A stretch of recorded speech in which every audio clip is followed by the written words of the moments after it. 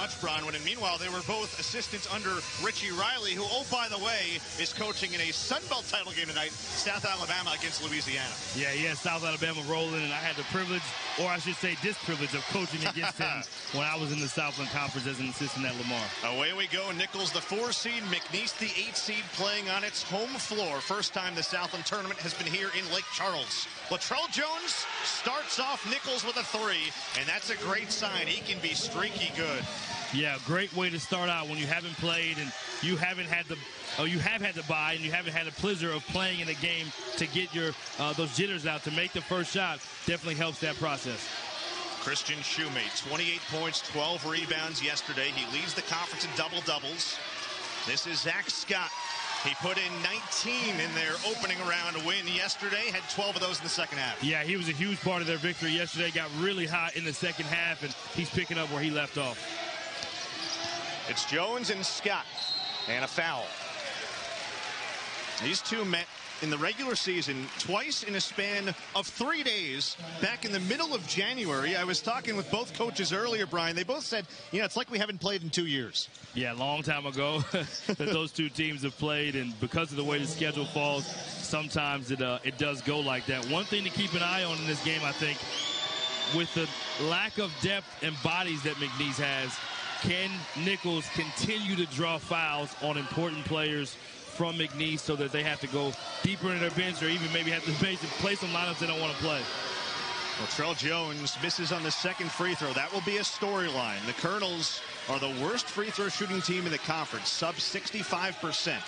You figure they'll have to knock them down if they want to win a conference title here this week. Jonathan Massey, 13 points, 8 assists yesterday. He was tremendous. Not a natural point guard. It's Shumate in the lane. He Muscles it up and off. Rebound Pierce Spencer. He had missed the previous five games with a hip injury. Nicholls very happy to have him back. Yeah, I think he's a difference maker for this team. He's not as talked about as some of the other guys, but he might be their most valuable and important player for winning. There's Huffman. He can score in so many different ways. Yeah, he is a walking bucket is what the, what they like to call players like him. Native of Broken Arrow, Oklahoma. Started his career at Iowa Western, then Central Michigan, and he has been tremendous in Thibodaux the last couple years. It's Shumate with a double team. Skips it off to Francois. They run him off the three-point line inside DeAndre Thomas, and he walks. Yeah, early look to keep an eye on and continue to watch. They double team Shumate as he got it immediately. There was no hesitation. They sprinted and then they are rotating and almost switching out of that, not caring who the matchups are. So they don't they don't plan on allowing Shumate to beat them. The Nicholls starting five, it looks a little bit different. Huffman, Spencer back in there again, first time in five games. Jones, Nelson, and Eduardo Del Cadia, who has been a huge reason why they've had some success of late. No Manny Littles in this tournament for Nicholls, out with personal reasons. Well, Jones is called for steps. Littles is Nicholls' leading rebounder, so that'll be a storyline against a very good rebounding team in McNeese. Yeah, absolutely. McNeese loves to shoot it and be able to go get it off the offensive glass. Uh, ref called a good call there. Kind of slowed down his pace on his steps, and they called him for travel. The McNeese starting five. They've only got two others available outside of these five. Massey Scott, Francois Shumate, their first team all-conference pick, and DeAndre Thomas, who had a double-double his second straight last night. An offensive rebound Shumate. That's where he is so good. This is the best offensive rebounding team in the conference. Around the horn, Francois for three. Bucket. Yeah, great ball movement, great penetration. Way to make the extra pass for an open look. And again, when you can get those shots to go down early, it does so much for your confidence and your psyche in a big game.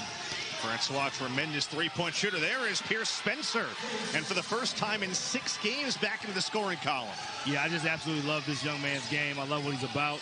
Talking to other coaches in the conference about this particular matchup, they said if he plays, they think Nicholls has a great advantage because he is a difference maker. Near knockaway by Huffman. It will stay with McNeese. Spencer is from Porter, Texas. He was on the all-defensive team despite only playing in 12 conference games. Ryan Maxwell on for the first time for Nicholls, 10 in white. He's a sophomore from Jacksonville, Arkansas. He's 6'7". This is kind of the storyline with this program under Austin Claunch. A lot of guys 6'6", 6'7", but long arms. He's got a seven-foot wingspan.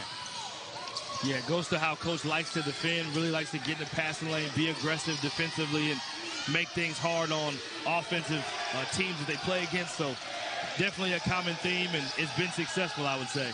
Massey is off the mark. And another offensive rebound. Zach Scott reloads and connects. Zach Scott is in a groove in his home gym, and he has been shooting the ball lights out since the second half last night. Nicholls has begun three for three. It's Huffman. And now Jones. Those two complement each other so well. Jones, tough two. He makes a lot of those, misses there, rebound Francois. Yeah, those are the shots McNeese wants them to be able to take. Those tough contested twos, whether he makes them or not, those are the lowest percentage shots you can take. So Nicholls will want to get higher percentage, whereas McNeese will definitely want to keep them shooting those same shots. High-low look. Shumate got position on Huffman, and McNeese has its first lead. Yeah, because of the switching on ball screens and the switching defenses that uh, the Colonels do, that put a little bit of a mismatch where Shumate had a great advantage, and they threw it over the top. Shumate's been in double figures 13 straight games. He's got four straight double-doubles and seven in his past nine. Jones for Nelson. Mid-range is true. Well, they're taking what you said McNeese will give them knocking down, knocking down a few early. Yeah, that one was a little bit better off of a shot fake. You got a little more separation and rhythm. And talking to Nelson last night, he said he is so excited to be here with Nicholls. He's been at a lot of different Division One stops. This has been his favorite one, and the coaching staff was exactly what he was looking for in that personal relationship. They are fighting for a championship. To your point, Western Kentucky, then UTRGV before heading to Thibodaux. Shot clock to five for Shumate, knocked away by Pierce Spencer. And he is all alone for the time being, but run down by Thomas. Oh, what a play in transition. Yeah, great hustle play right there. And then another play, championship level play, taking the charge is Nelson, winning plays. Back and forth we go. What a sequence this was.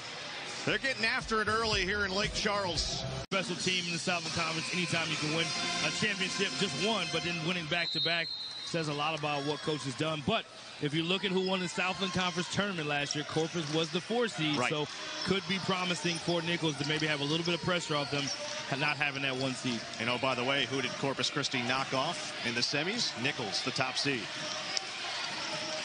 Colonel Ball up a point. Merrick Nelson and now Eduardo Del Cadia, who walks. And a turnover on Nicholls, their second.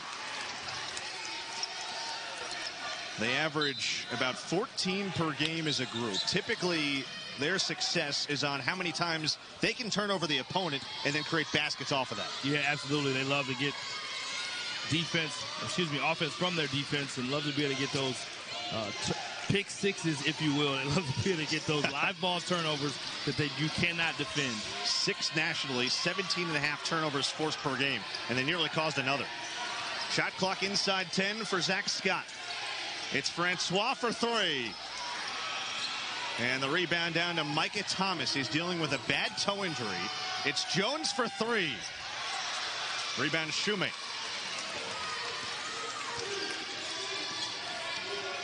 Massey with that strong frame banks it off. Shumate up, blocked by Nelson. It's Thomas for Nicholls. Tyrese Terrell on for the first time as well, two in white. Thomas pull back triple. Oh yeah. Yeah, he's in a groove right there in that groove shot. Nice high screen and roll, had space, hand down, man down, knocks it down. He only played in half their conference games. He's dealing with a toe injury that is going to require surgery in the offseason, so he's toughing it out throughout this tournament. Yeah, this team is made up of some gritty dudes, so not surprising at all. Shumate, if he's hitting that, you're in for a long night. I tell you what, the, the, the evolution of his game, not a guy that just makes layups and points in the paint only from you know, kind of being right there point blank. That soft touch, little mid-range fadeaway that he's worked on is really a nice weapon for his game. Jones loves that baseline turnaround. There it is, and fills it up for two. He's got six early points. Nicholls leads by four. Again, they took both regular season matchups, including here in Lake Charles, by three. They won by nine in Thibodaux. Shumate, and a foul. He's so tough when he's downhill. Just a man possessed, picking up where he left off last night. Looks a little bit different. He's playing against some more size and athleticism.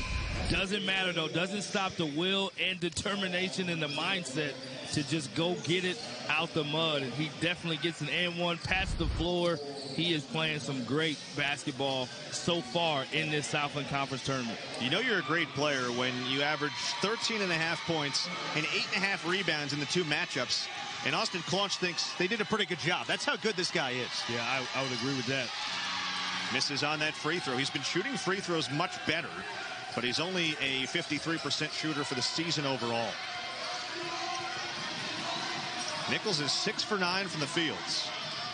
That one was partially deflected, and Roberts Burzay, who's in, has the rebound. Yeah, great adjustment by Shumate. They tried to run the same high ball screen. They got a three off of the play before, and he gets a block that time. Francois driving kick, poked away, out of bounds. And to Nicholls it goes. Turnover number four already on McNeese.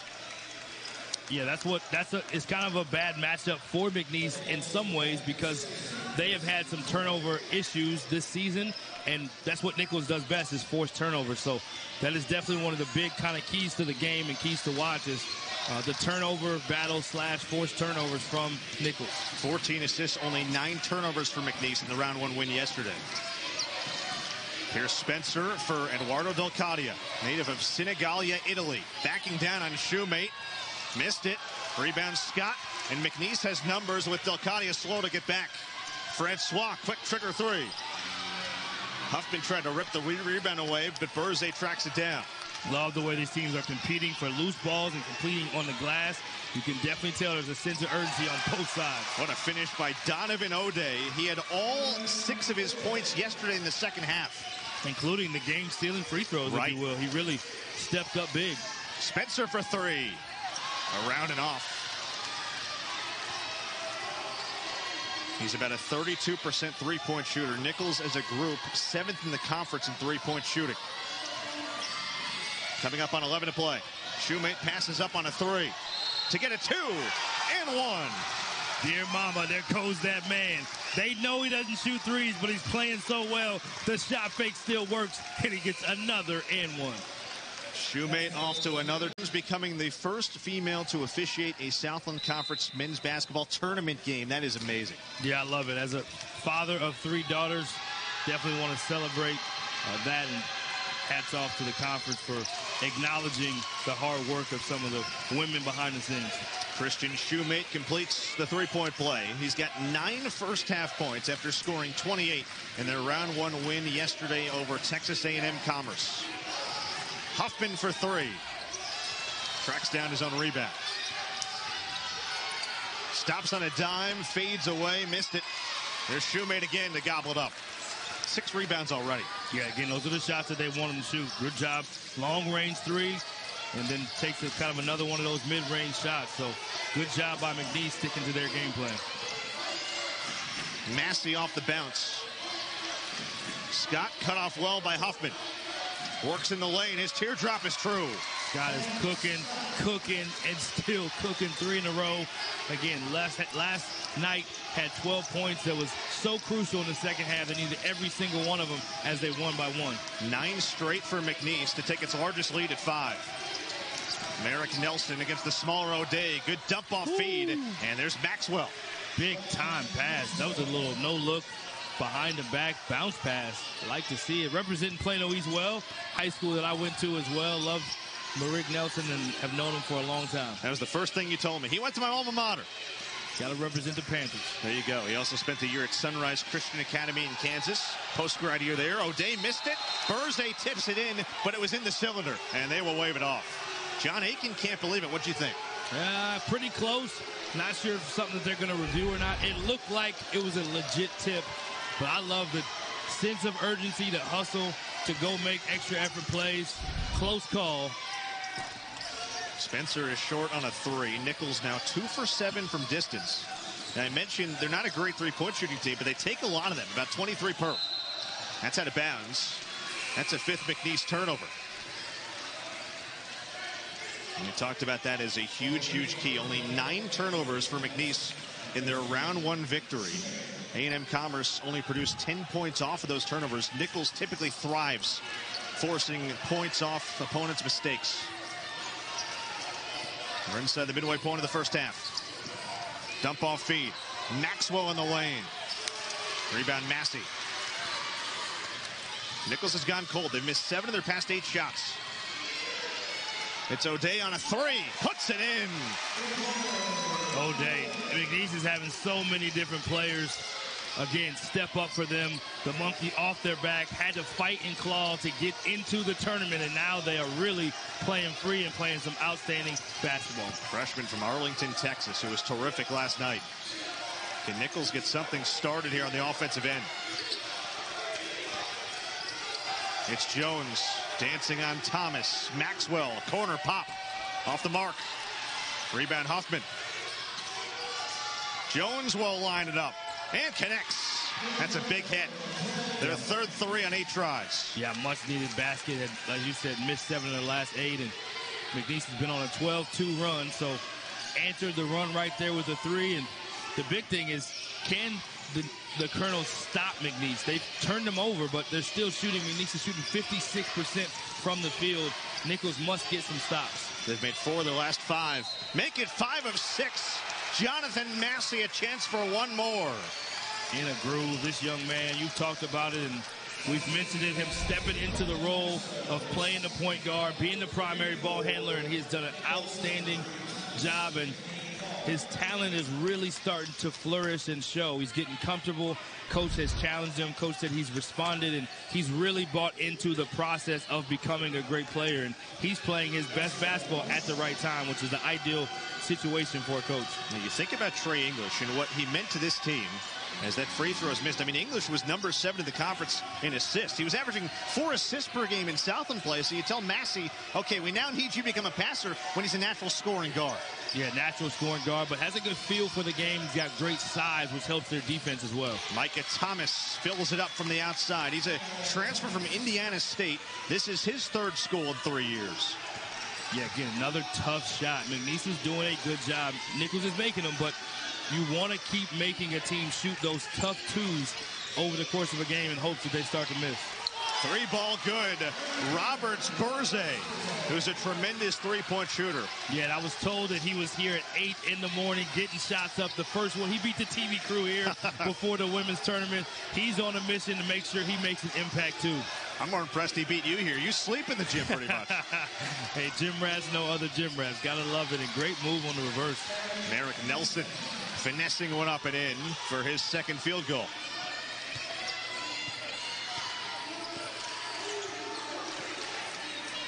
Nicholls has made the last three of their shots, as has McNeese. We're having a little bit of a shootout right now, both teams, and unfortunate turnover for the Cowboys. That's what's keeping Nicholls in this right now. 60% first half shooting for McNeese, but they've now coughed it up six times.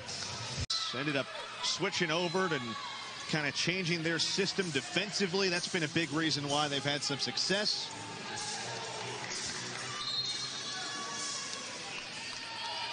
And now away we go.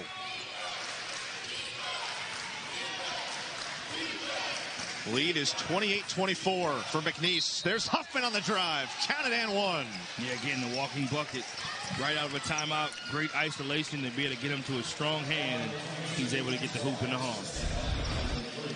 He's as quick as any player in this conference.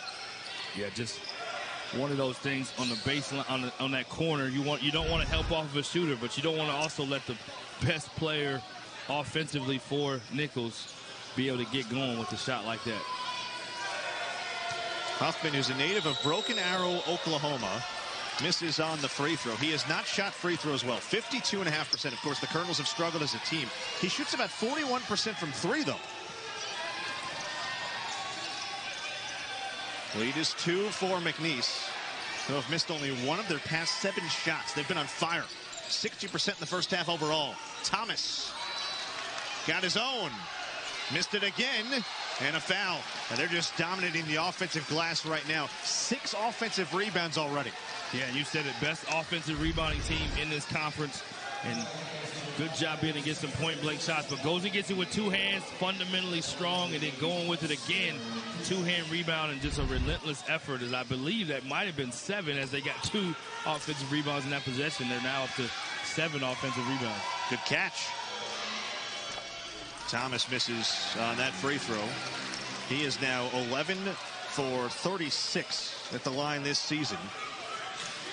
But he has been terrific these last couple of games. 12 and a half points, 11 rebounds, five and a half offensive rebounds. That includes his double-double yesterday in round yeah, one. the offensive rebounds is really where he makes his mark. Just making sure he cleans up the other players' misses. You love a player that you don't have to draw plays for, but he can still impact on the offensive end. A lot of quick threes here from Nicholls in the first half, and have not been going down at a high clip. They're now three for 10 from distance.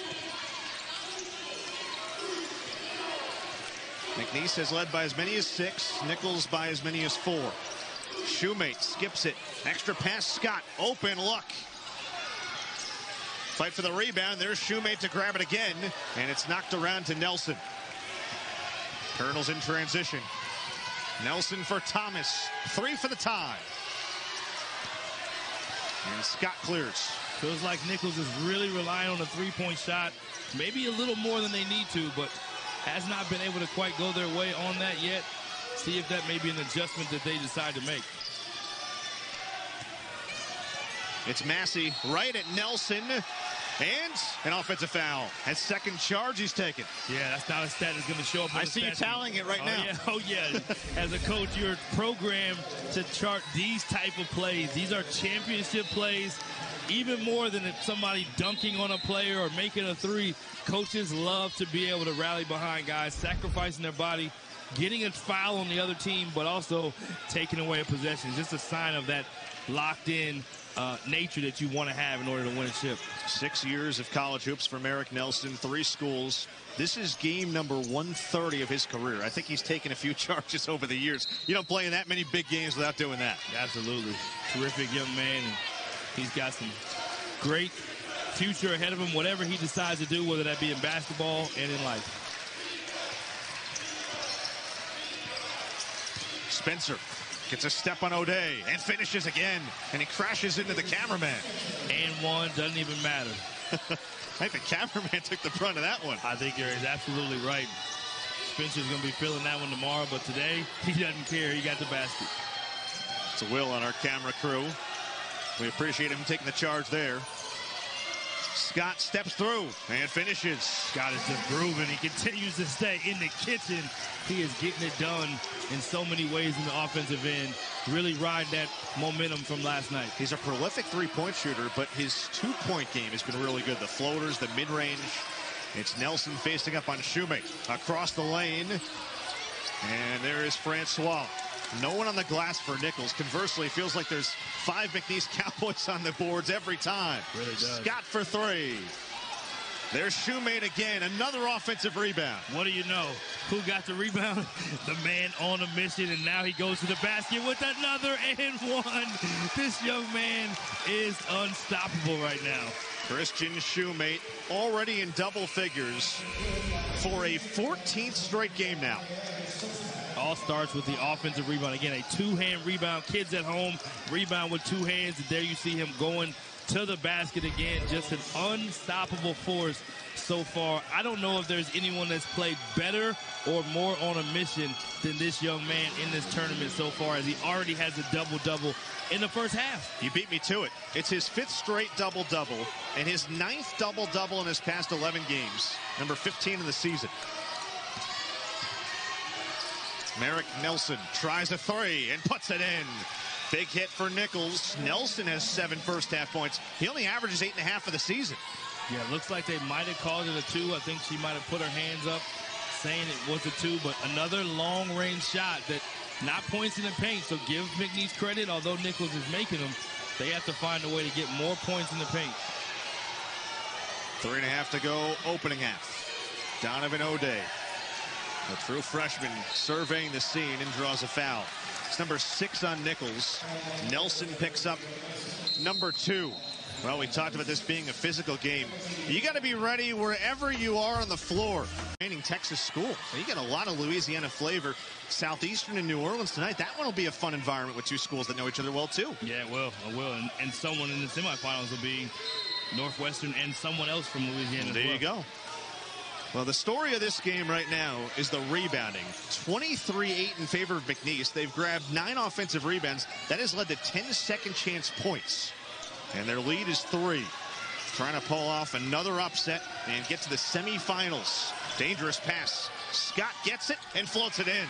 Leaves the follow through on the floater, looks at his hand a little bit like, yeah, we're doing this thing together. He's in double figures for a second straight tournament game. He's averaging 19 points per his past four entering today. Fifth year senior from Miami. Lancemere Paul, first minutes for Nicholls. He's been really good for them this season. The Gannon transfer from D2. Jones off the mark. They are not cashing in from three. Three for 12 now on the game. I mean, again, we talk about shot quality as the coaches, and it's just not a quality shot. Yes, he probably could make it, but at a very low percentage, as there was no real action to get him open, just decided to take a three. Shumate, who's got a first half double double already, adds to it.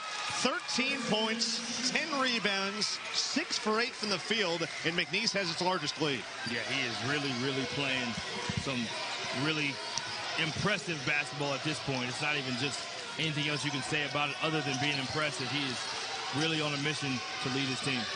Another miss from Huffman. Jones steps through on Shumate, tried to draw some contact, rebound Francois. All McNeese right now with momentum. Inside two to go in the half. It's O'Day coast to coast to finish. The lead is nine, and Austin Claunch needs a timeout. Yeah, you got to give so much love to this McNeese team. I mean, this is a team that lost eight or nine in a row at one point in the year, and they are playing out. Arsenault and Beaumont United. That's a pretty good team that they had. But Absolutely. he had a terrific game. He made all eight of his free throws. His son looks at John and says, hey, Dad, I think we need him on the team. Sure enough, he was pretty good at the free throw line yesterday. Yes, he was. Made the clutch free throws to steal the victory, and he's played some really good basketball early in this one as well. Seven first half points. Lead is nine for McNeese. It's Jones swallowed up on a foul. And the Colonels will head to the free throw line for just the fourth and fifth time in this game. Yeah, and I think that's what Jones needs to do a little more of. He's shooting an efficient game from the floor, but he's taken a couple from long distance that he didn't have to take. But when he allows his frame and his athleticism to attack the paint, it makes it really hard on the defense of McNeese. And we said this early, McNeese doesn't have a deep team. They don't have a deep roster right now. So the idea of being able to get to the free throw line and put some people in foul trouble for McNeese is one that I think Nicholls has to consider. Jones makes the first. Latrell Jones, who is a fifth-year senior out of New Orleans. He went to Archbishop Shaw, then College of Central Florida. He and Eduardo Del Cadia played together there. A year at Portland's where he averaged about 10 a game. Last year, third team all-conference. This year, second team all-league. Seven-point McNeese lead, final 90 seconds of the opening half. The Cowboys are still hovering around 60% for the field. Great feed down low to Thomas to finish. Getting whatever they want inside right now. Just when you thought Shumate was just about buckets, he drives and drops a beautiful dime off to his big man. Jones pivots, can't get the roll. And he's down, and it's a five on four. O'Day skips. Scott for three. And that's off the hands of Francois out of bounds.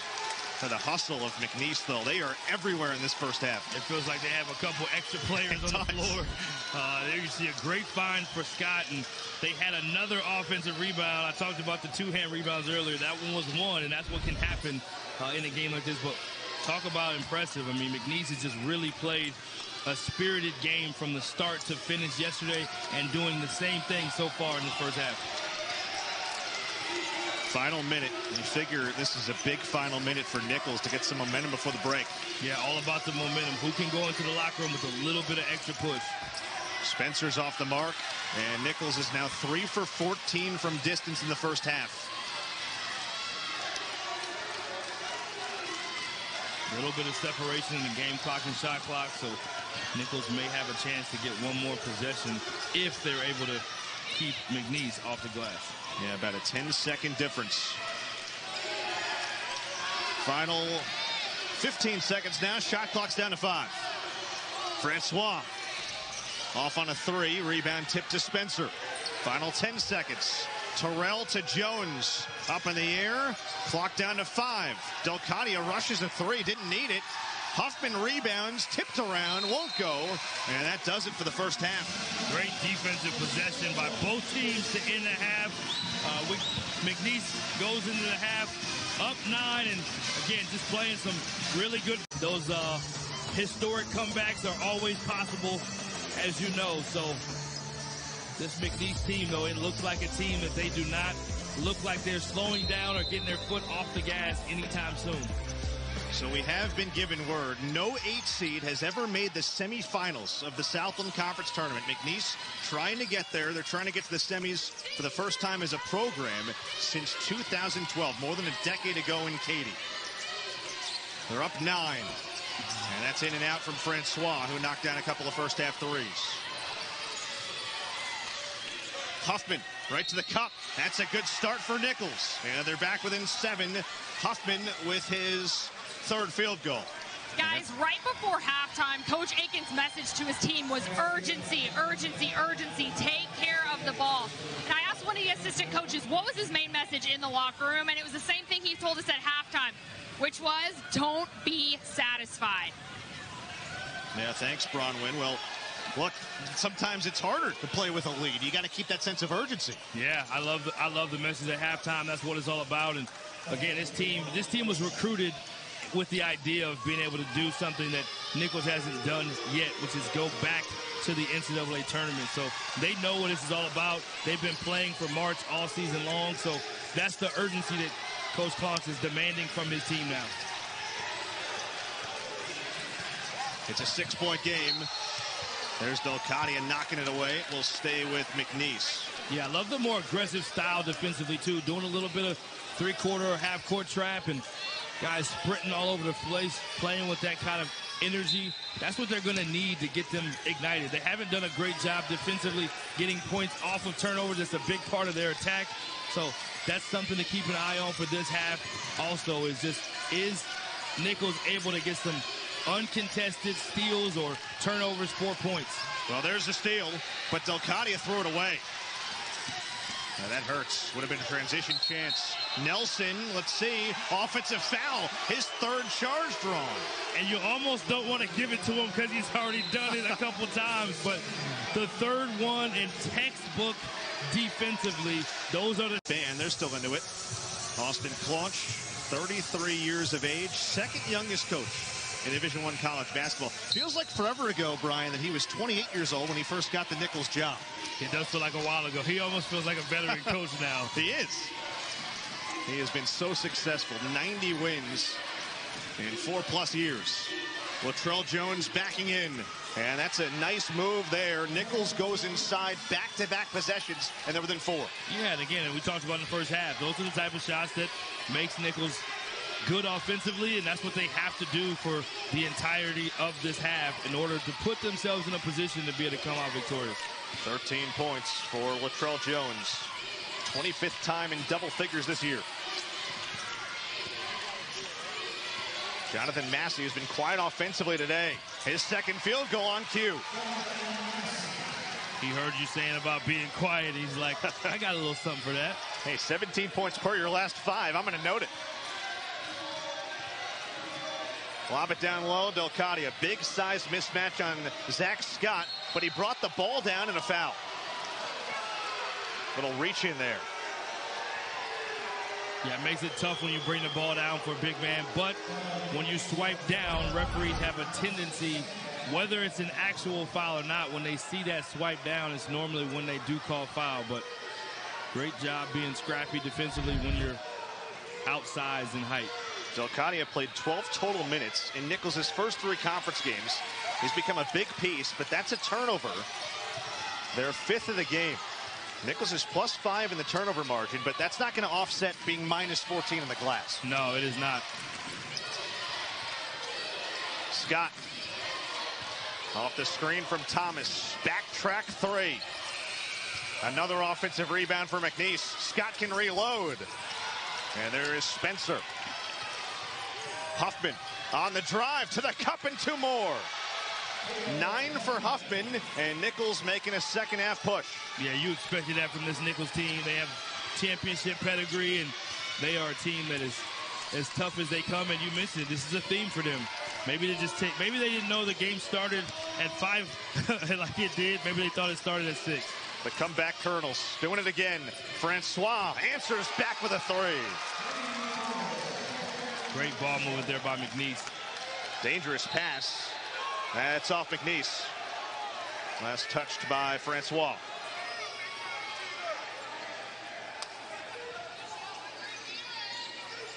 Seems like a big emphasis for Nicholls to try to play faster here to start this second half. Yeah, done a good job in transition. One of the places they really excel, as you well know, getting out in speed and transition and being able to get to the rim. They're one of the top tempo teams in the nation.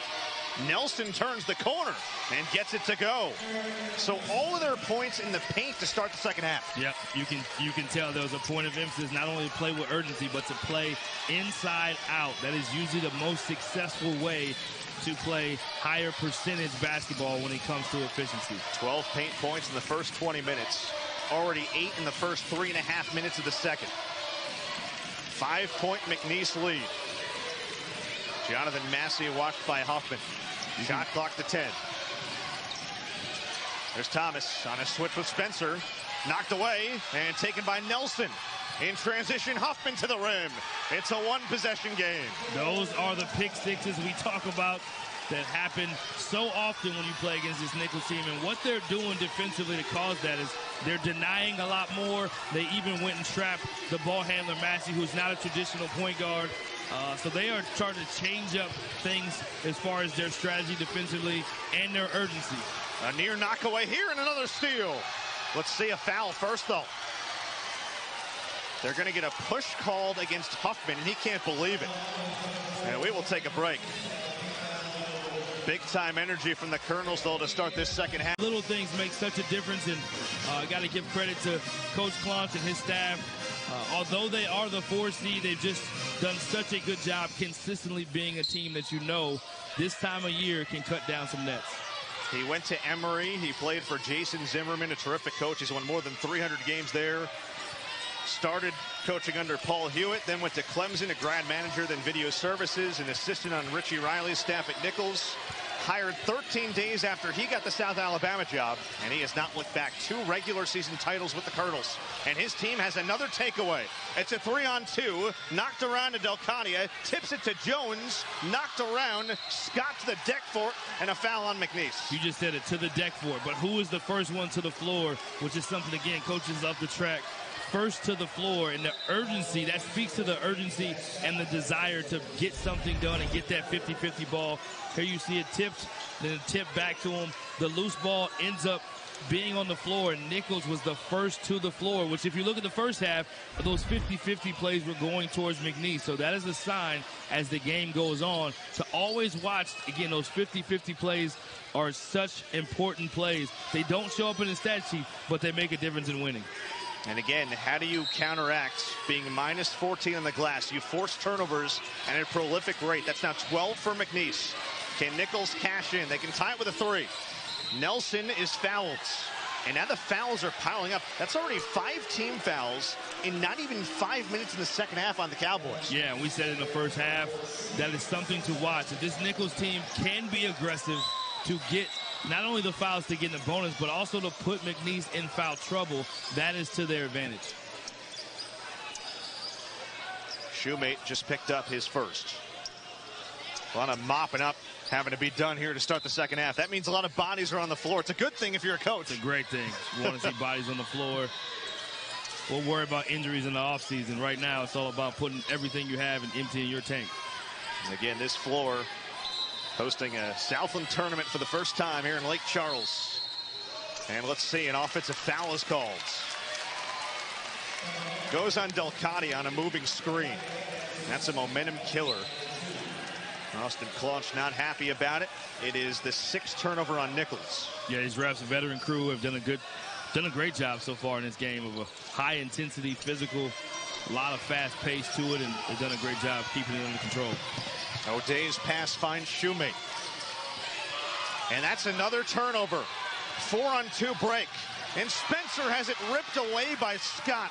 What a defensive play. Yeah, back-to-back -back turnovers. Both teams finding a way to get that possession back. And Nicholls has shown a few traps the last few times down, and they are continuing to be aggressive and change up their defenses. Scott Giving room for three, and he connects. Just need a little bit of room, not too much. Hey, when we don't turn it over, McNeese says, we shoot 54%. We just got to not turn it over. His first make on six tries from three. Spencer right to the rim. Rebound Shumate, his 12th to go with his 13 points.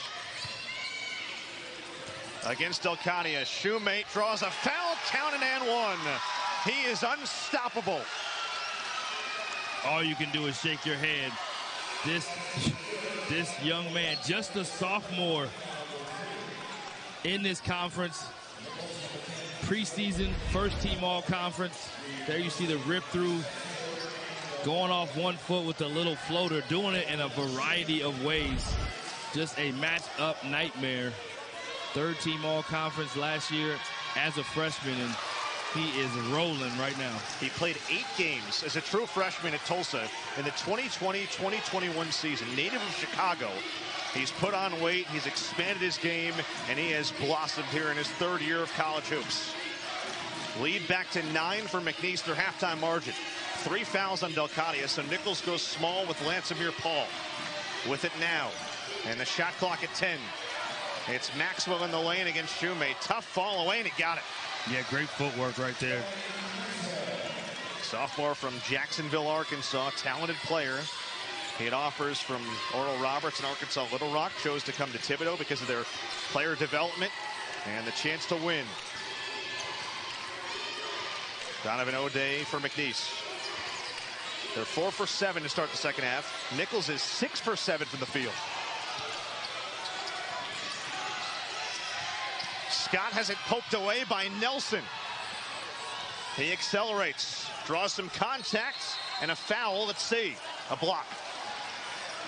Bodies continue to go everywhere.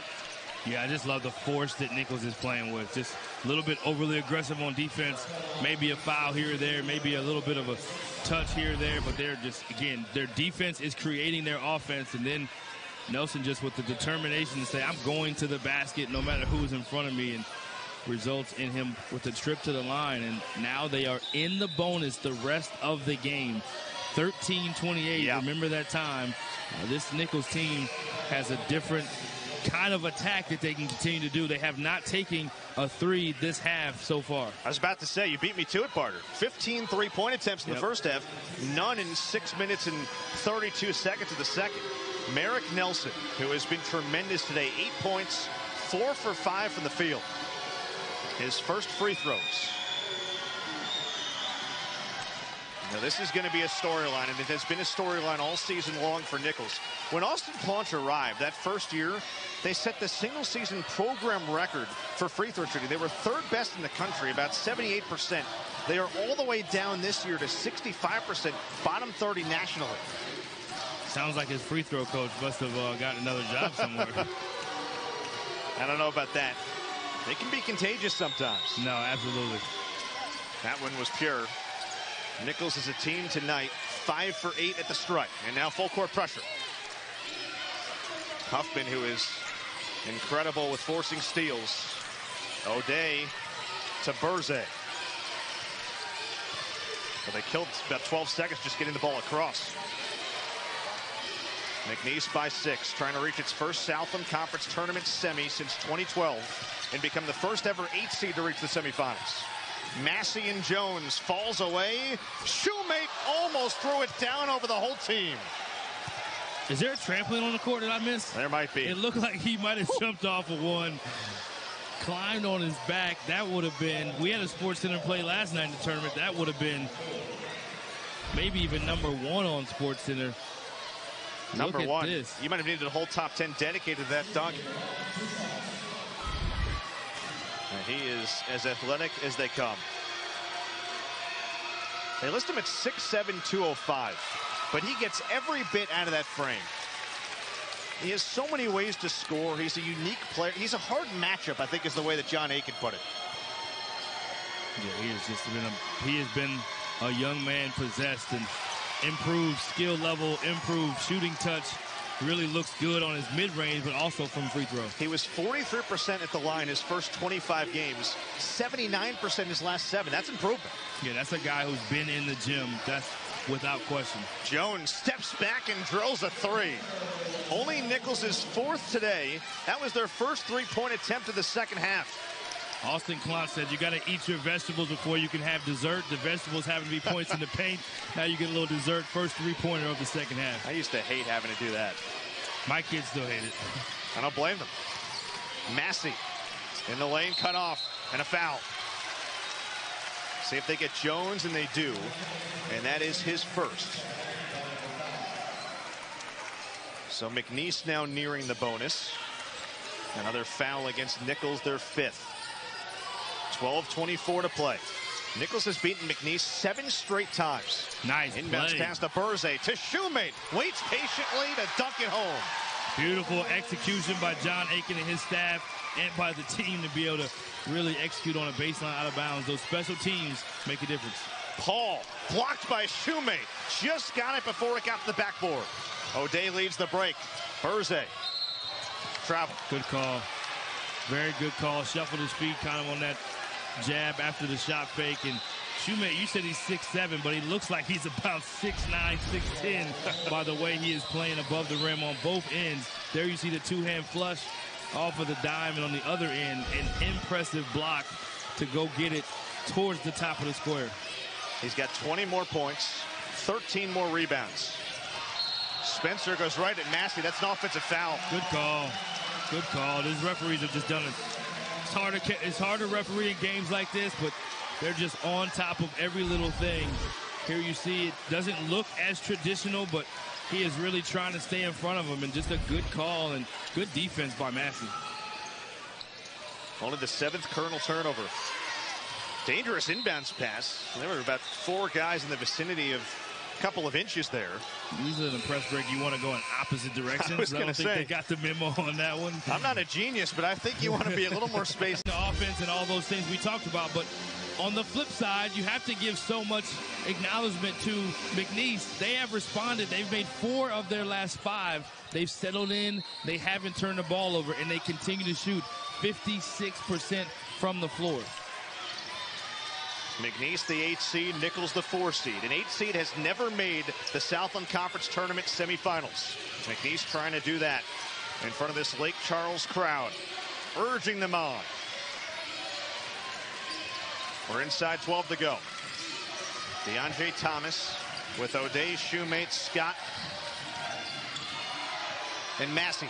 It's O'Day on a pull-up. Rebound Spencer had it tipped out. And I think they're going to flip that call. Let's see.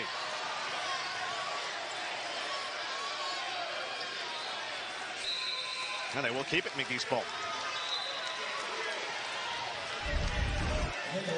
There you see the replay. Right call. And we talked about our first female official, Miss Bianca, in the building, makes the accurate call as you watch the replay. She used to be an NBA ref as well, so she's been in a lot of big spots. First female official in the Southland Conference Tournament on the men's side ever. An amazing feat here today. Again, celebrating the 50th anniversary of Title IX. Massey, there's Nelson. There's another charge. It's his fourth. Now, the other official had a foul. Let's see. They're going to, I think, overrule this. Yeah, they're going to call it. And it will be an offensive foul. Beg Nope. pardon. Nope. I, I like the trust and the chemistry between two refs. So often you can see those things happen where, hey, I saw this, I saw that. But again, uh, the veteran officiating crew, we talked about our first record breaking female in this tournament, and she's made back to back calls that have been on point. Yeah, there you go.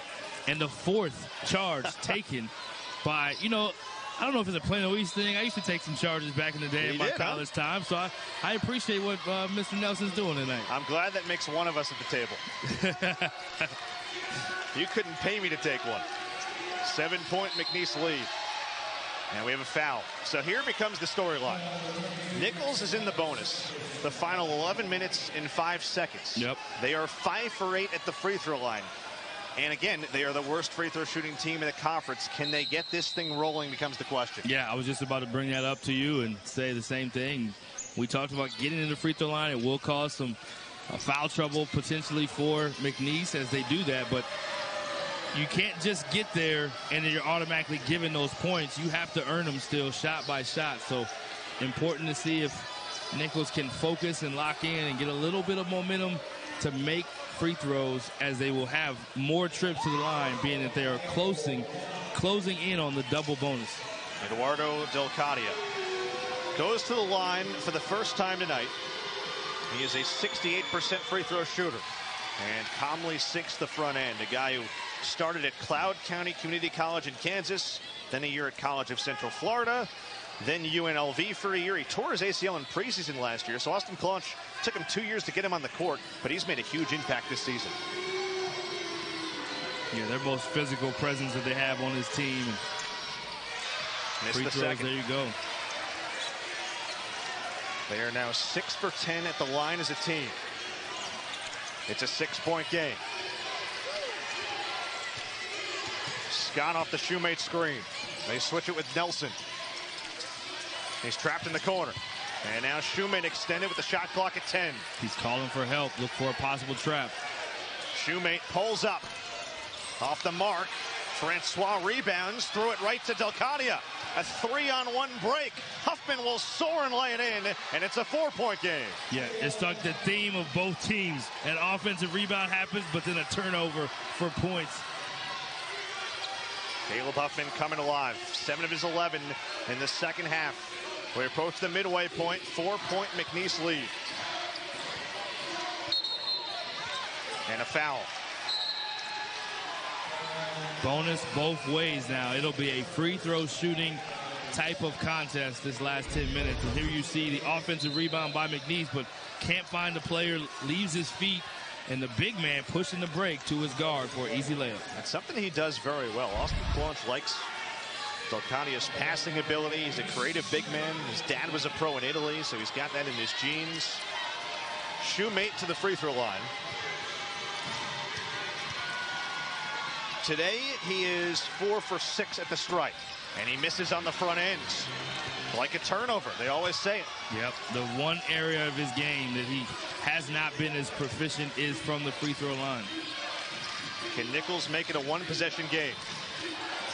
Huffman, long three, you bet. Caleb Huffman coming alive, and he's got 16. More dessert for the Colonels, able to take a dribble rhythm three and hit nothing but the bottom. He's got 12 second half points. Scott passes up on a three. Ball knocked loose, taken by Terrell. Nicholls can regain the lead right here. They last led at 15 to 13. Might have got away with a little bit of a carry. You're Looked like right. he lost it, and refs didn't see it. Crowd wanted to let him know about it. Huffman. It's Huffman on a baseline drive for the lead. Talk about a first step, a burst of speed for Huffman and Nicholls in the lead. 14 second half points for Huffman. 8-0 Colonel run. Austin Claunch telling the whole Colonel faithful to get loud. The Colonel's on top for the first time since the... Austin Claunch made the point a little while ago. This conference has a lot of bucket getters. Guys, you give the ball to, they just find a way. Demarcus Sharp, the player of the year. Yep. Jamonte Black for Northwestern State. There, there are so many. Jordan Johnson of New Orleans. Huffman, one of those kind of microwave oven guys. Yep. And Nicholls on top for the first time since early first half. Christian Shumate for McNeese. Right to the rim, missed it. Spencer couldn't rebound though. Massey gets it back, puts it Gotta in. count Will the they bucket. count it? Will they no. count it? I don't think they will, but the best offensive rebounding team in the conference continues to have that relentless pursuit on. Okay. Job well done. Great explanation. Yeah, so we just got confirmation. It's a one and one, no basket. He got fouled before the act of shooting. They just missed the front end. And they miss another. McNeese now 5 for 11 at the free throw line.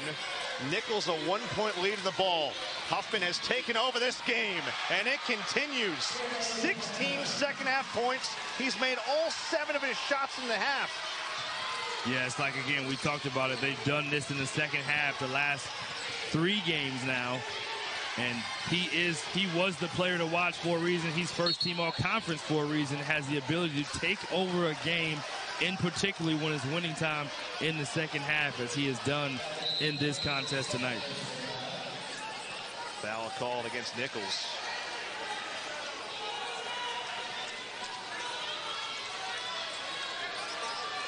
Another one and one shooting foul. They've missed the last two front ends of one and ones, which, as you mentioned, are like turnovers. No question. Why is it like a turnover? Because you essentially don't get an opportunity to get those points. So, but what did we say about Donovan O'Day? John Aiken went over, saw him in the state title game after they had missed three front ends of one and ones in this game last year. That's the guy you want to settle down the troops a little bit. he oh, makes he's, both. He's cool as the other side of the pillow. He did it last night to seal the victory, and here he is calming his team down with those last two. He was six for eight yesterday at the line. He's 10 for his last 12 the last couple games. One point Nicholls edge. Huffman for Delcadia. Right back to him. He's got 16 second half points. And he's off the mark from three. A little bit of a heat check right there. He thought he got bit. fouled, yeah. Their first miss from three in the second half. They were two for two. Scott cut off. McNeese has gone cold without a field goal going on four minutes. After Gotta find shot. a way to get the ball to Shumate. Let him do what he does from the perimeter. Let him attack and make the play. Got a mismatch with Huffman. They switch it with Nelson. Shot clock to five. Rifle feet stolen away. It's Pierce Spencer. And he slows things down. And Austin Claunch will call a timeout. The Colonel defense has picked up. They have forced 19 McNeese turnovers, with 11 of those coming in the second half. It could be a tournament MOP. You can see those numbers flipping. You would probably say, yeah, it's been him in attack mode in the second half. Oh, absolutely. Not settling. Again, doing what he does, but getting to the paint and making it hard for them to have to guard him off the dribble. When you are as talented as he is, you know that the other team can't guard you one-on-one. -on -one. It's up to you to just decide that you're going to get to the basket no matter what. Jones is running mate. And now Nelson in the lane. He was hit. Spencer tries a long three. And the rebound to Jones. Fresh 20 for Nicholls. Only the Colonel's fourth offensive rebound. Huffman.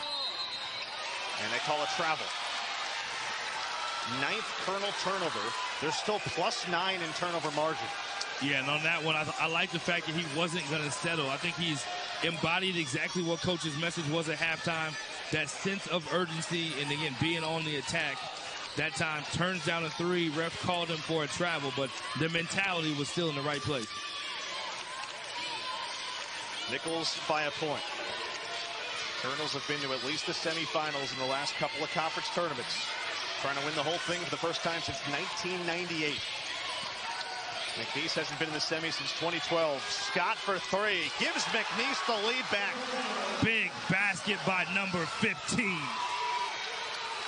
His second three, both in the second half. Huffman drives. We got a foul on the floor. It's team foul number nine, so it will be a one and one. Another look at this Zach Scott three. How good has he been the last couple days? Oh, he's been so good. He's had a three at that same spot. If you remember early in this half, he had two shots he missed in that exact same almost spot. And there you say third time's a charm for number 15. He was 0 for 3 from distance in the first half. He's made two of his four in the second. Huffman front ends. Missed it. Ball is loose. Nelson dives to it. And let's see a tie-up. And another, will stick with Dick. That's another winning play by Nelson. Another championship level winning play from Nelson. Again, these plays don't show up in the stat sheet, but look at him diving in between two McNeese players, sacrificing his body, saying, that's my ball. That is the sense of urgency again. You talk about a team connected to their coach. You think they believe in their coach. He talked about, I came to Nicholls because of the relationship with the head coach. I wanted to have that relationship. I love this staff, and I'm going to give everything I have tomorrow in that game, is what he told me yesterday when I saw him, and he is doing just that. He's already got his master's in finance. He's got a super high IQ, according to Austin Claunch a leader for this team. In game 130 of his career here today. Trying to push Nicholls to the semis. But he turns it over there. trying to claim that Delcadia got pushed. It becomes another Nicholls turnover. Yeah, he felt like he got grabbed maybe on that other arm, and I think that was an accurate no call. Again, the referees have done a terrific job in this game. Nicholls now in a scoring drought that has surpassed two and a half minutes. McNeese by two. Shumate trying to post up, couldn't get position on Delcadia. It's Massey. Shot clock to 10. Shumate going right at Nelson. Takes him inside, kept his pivot foot, missed it, tipped up and in by Francois. Ooh, Francois climbing the ladder, going up top, almost got a tip dunk himself, but he'll take the two points. Who does Nicholls go to now? Jones swerving inside, scoops it up and in. Difficult shot from Jones, who's got 18. Yeah, nice take by Jones. Again, he was set, he was one of the main ones settling for those tough twos and threes in the first half, and he has also been on attack mode, getting downhill. Nice right hand scoop finish on the left side. McNeese has led in this game by as many as nine. That was the halftime margin. Nicholls has not led by more than four. And again, they have won seven straight head-to-head -head in this series. But head-to-head -head series can be misleading. They've had so many close games over the last couple of years. Yeah, these team, two teams very familiar. Have had a lot of competitive battles. And these two coaches, we talked about it in the open with Bronwyn Story. There is a familiarity because their philosophies both derived from Richie Riley, who they worked under at Nicholls uh, on the same staff. And uh, Richie Riley and the South Alabama team currently playing to go to the dance for the first time in his time as a coach, and they are up four at the half over Louisiana Lafayette. There you go. Well, they're both monitoring that. And oh, by the way, John Aiken has never beaten Austin Claunch as a head coach, who's 4-0 against him. So he's trying to flip that script. McNeese breaks pressure, or Great. did they? A backcourt violation. Wow. Another great call. I mean, referees are on top of all the little things in this game. Again, a former coach saying the referees are making good calls, but look at right there. You see them come from the backcourt to the front court. Have to have established your feet in the front court before you touch the ball. A 20th McNeese turnover. Nicholls can tie or regain the lead. Five to go here at the Legacy Center. First time the Southland Conference Tournament has been here. It's Huffman. And he's called for a travel. Just like he looked like he lost his footing on the baseline. Yep, just kind of lost his feet and traveled a few possessions ago in that same little area. And the theme of this game has been rebounds and turnovers. It's plus 10 for Nicholls in the turnover category, plus 9 for McNeese on the offensive glass. So those are, again, the common things for these teams. And both teams in the double bonus the rest of the way. Free throws will also be a factor. Bron, when you've got more?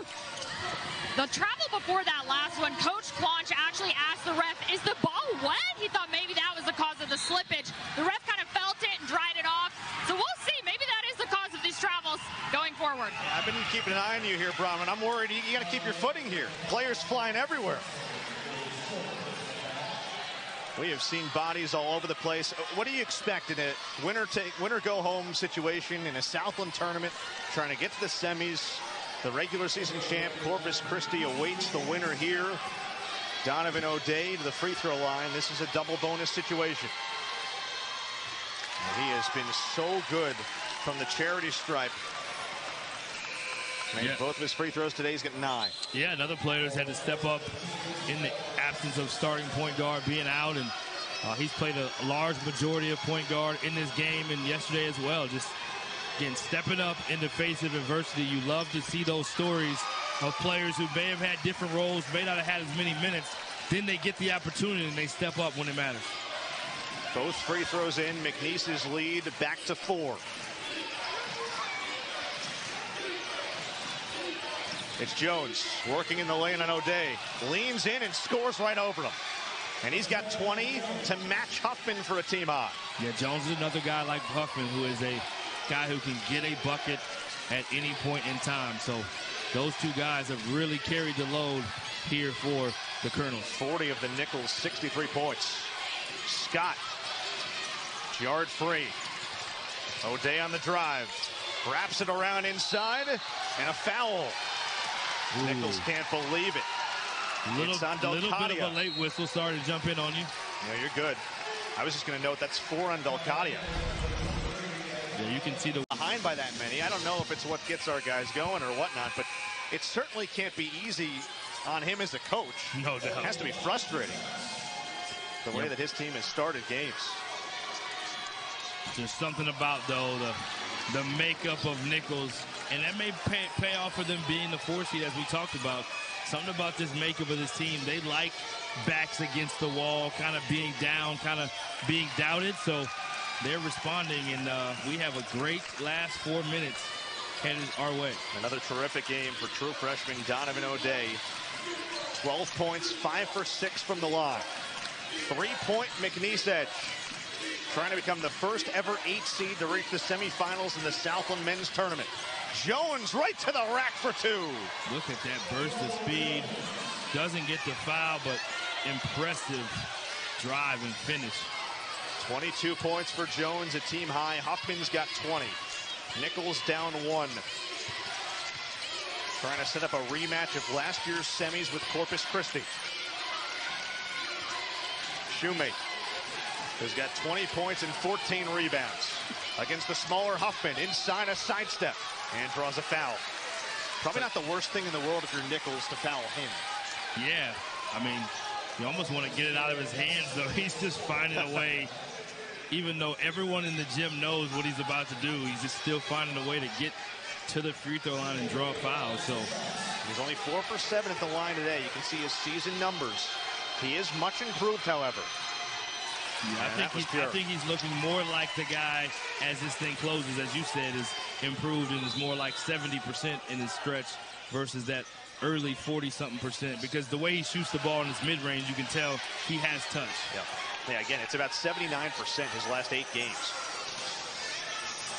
And that includes yesterday in round one against A&M Commerce, where he went six for eight at the line, part of his 28 points. Yeah, he's a guy that's lived in the gym. You can just tell by the way that he is playing with the confidence and the way he's delivering on, again, those short range, degree of difficulty, jump shot. One thing to clean up, they did just call that foul on Nelson. They switched it. So he's got four. Spencer's got four. Delcadia's got four. Three Colonel starters, all with four fouls, and two calm clutch free throws for Shumate who's got 22 and 14 and a three-point McNeese lead. Well, this is that time of the game, too, where you have to go to your closers. You got to start going. It's winning time. You got to start going to your best players and letting them do what they do.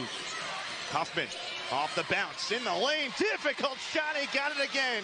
And he's got 16, make it 18 in the second half. Yeah, we just talked about going to your closers. Huffman's the closer for Nicholls, letting them do what they do. And there you see him doing it well.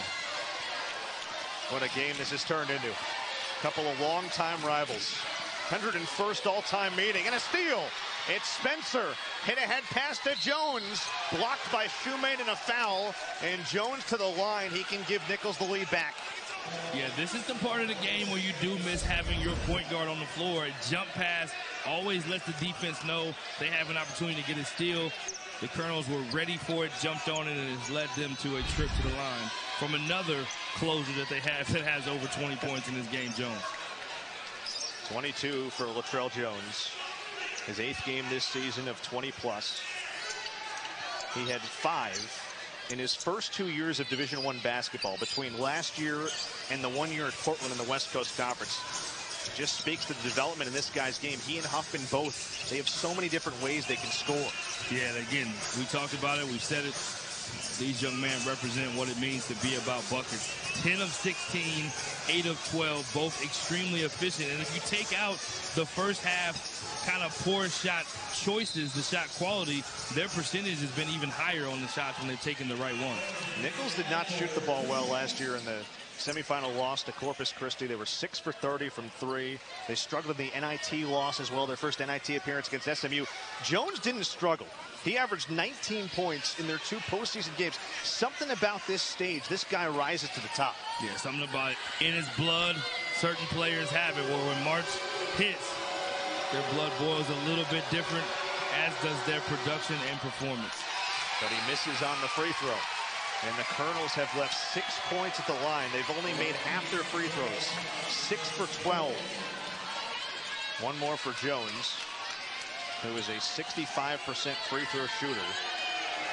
He's three for five tonight.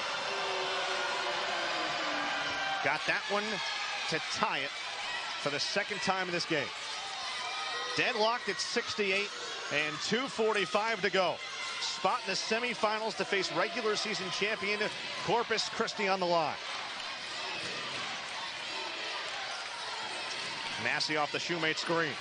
Cut off well by Jones. Nowhere to go. Poked out of bounds by Delcadia. The ball pressure has really picked up for Nicholls of late. Yeah, I love how they're getting in passing lanes and really denying. Uh, McNeese has not scored a field goal in the last two minutes and 41 seconds, whereas Nicholls has scored their last four field goals, and they are feeling good and starting really getting the passing lane. And again, not having a true point guard is affecting them. Massey floats it up and off. Thomas on the offensive glass got poked in the eye. And they back it out for a fresh 20. Yeah, the best part of Nick of McNeese's game is not turning it over. Whether they make it, they're shooting 53%, but when they miss it, they're getting the offensive rebound majority of the time, and they are programmed to go get it. So big thing is don't turn it over. Get a shot up, and you got a chance. Massey, difficult shot, and a shot clock violation. This has been textbook defense and textbook Nicholls basketball these last couple defensive trips. Yeah, last couple defensive and on the offensive end. They've made their last four, and they're getting the ball to the right players. Again, to close games. Just part of the game. Other guys may make intangible plays. Great steal right there. Careless turnover. It's Scott coast to coast. Blocked by Delcadia, but a foul. And Scott a chance to go to the line and give McNeese the lead back. And that's five on Delcadia. Haven't said Scott's name in a while. Had a good first half, had a good second half yesterday, but taking the page out of Nicholls' book, gets a deflection and steal and fouls out the big man for the Colonels. That's a big loss. Delcadia, who only had one point today, but he had three rebounds. He had five assists. He was really a good playmaker for them. So Ryan Maxwell enters and will play the biggest 148 of his young career. Zach Scott is a 75.5% free throw shooter this season. He has not been there tonight. Last year he was 92%. I think Latrell Jones has some blood in his arm. So I'll get that wrapped up. Again, we've still got one more semifinal, Southeastern and New Orleans. That should be a good one as well. This crowd has been fun. I think that crowd will be very fun tonight, tonight too. Yeah, tip your hat to the Southland. We like to see it. First time in Lake Charles. The new and logo then, debuting. Yeah, new logo. Done a great job with the branding of the Southland Conference and beautiful floor. I saw one coach talk about this is the best floor design of any conference tournament. So maybe that's something they can take a vote on later. That's high praise. McNeese in front. 17 for Zach Scott. Cool, calm, collected. He's playing in game number 145 of his career. Two years at Florida Gulf Coast. His third year in Lake Charles. He could have left. He stuck it out. Loves this team. Left that one short, though. Nicholls down a point. Minute 45 to go. Can they find a way? They were down by nine at the half. They've grabbed a lead. Now trying to take it back. Latrell Jones steps in, draws contact. That's a veteran move, and he's got free throws. Again, we talk about closers. Not only can they make can he make a field goal, but he can draw a foul. And because he's such a threat offensively, here you see him driving, kind of stopping at the elbow, gets him in the air, doesn't jump into him though, just tries to jump forward and finish it, and is able to get the contact. He's four for six at the line. Nicholls is a team seven for 13, only 54%. We're tied. Austin Claunch has never been to the NCAA tournament as a coach, period. His yeah, team would have to him. Sorry, go ahead. No, I'm saying his team has to win three times to get there as yeah. the four seed. They have fought back in the second half. No, yeah, talking to him last night, he just talked about, you know, this team and being able to just go into it, play free, and go not worry about anything other than one game at a time. But he said they will be close games. And he was right. One point Nicholls edge. Our sixth lead change. Massey in a torture chamber with Huffman, and now it's Shumate. Size mismatch on Spencer. Will they bring the help? They do. The cutter is Francois. Woo! Counted for the lead, and a chance for one more. What a big time pass, but even more big time cut. And everything is going on. Everyone's focused on the player of the game for McNeese. Beautiful cut and a pass on the money and able to draw not only the finish, but draw the contact. What a big time play by number 22. Francois in double figures with 10 points. Seven in the second half. He's only taken eight free throws all season. He's made six of them. Let's make it seven to nine. And a two-point McNeese cushion with 70 seconds left. What a game this has been. It's loud in here, folks. Caleb Huffman Three for the lead. No. Rebound Scott. And we are inside the final minute. McNeese trying to become the first ever eight seed to reach the Southland Conference Tournament semis. Got a 30 second difference between the clocks. Shumate sets the screen. Shot clock at five. Scott in the lane. Spins through with a scoop shot. Count it. It's a goaltend. And McNeese by four. I mean, that was just that was just outstanding patience by Scott to not force it, not shoot up a hurry shot, but take his time and be able to step through right there and be able to draw the goaltend. That was a huge basket by McNeese. They're loud. They're on their feet. Does Nicholls have one last gasp? Spencer to the rim, and he's fouled. That's probably the best case scenario. Probably the best case scenario to stop it. Rebound is tipped, nearly went down. It's loose. Who's it going to McNeese? And Nicholls created a great second chance. They just couldn't secure it. They did. Timeout coming, but one possession game with 23 seconds left. This is the March Madness scenario. Just get it in back. I see you've been watching some basketball. a little bit. I've also been learning from you for two days. I'm getting a master class here, my friend. 23.3. Scott to inbound. Looking, looking, lofts it in to Massey. Will they trap him? They do. You don't want to foul Scott, but There's they do. That window. There's that window about five seconds. They did a good job, though. That's about how you want to play it. You have to try to get that steal. They're so good at getting steals and turnovers, as we talked about. McNeese has turned it over 22 times. Never been done in the Southland Conference tournament as an eight seed to go to the semis. You have to give uh, this program uh, so much shout out, so much love, and so much respect. Zach Scott to make it a two possession game. And he doesn't. It stays three. I would need some water after that, too. I would need more than that. 18.2 to go. Zach Scott sitting on 19 points. Give him 20 and a two possession game. And a bad pass from Nelson. It goes right by Spencer. And the Colonels turn it over for the 10th time in the second half. Wow.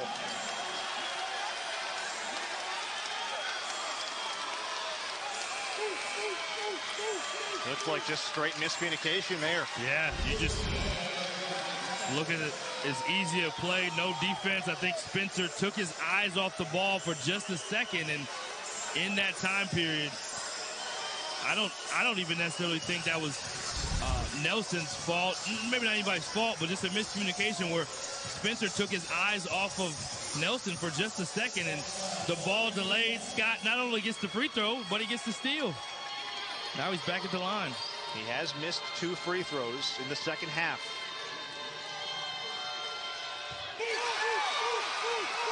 Five-point game. This raucous crowd behind their Cowboys. You can see Pierce Spencer, who has fouled out. One more. And now it's six. Nicholls now does need threes. 15 seconds. They got to go. Terrell finds Huffman. It's Nelson. Dropped it, got it back. Terrell will launch a three. It's blocked by Scott. Massey secures, and that will do it. The McNeese Cowboys in Lake Charles are off the Southland Conference Tournament semis for the first time since 2012. They are the first ever eight seed to reach the semis.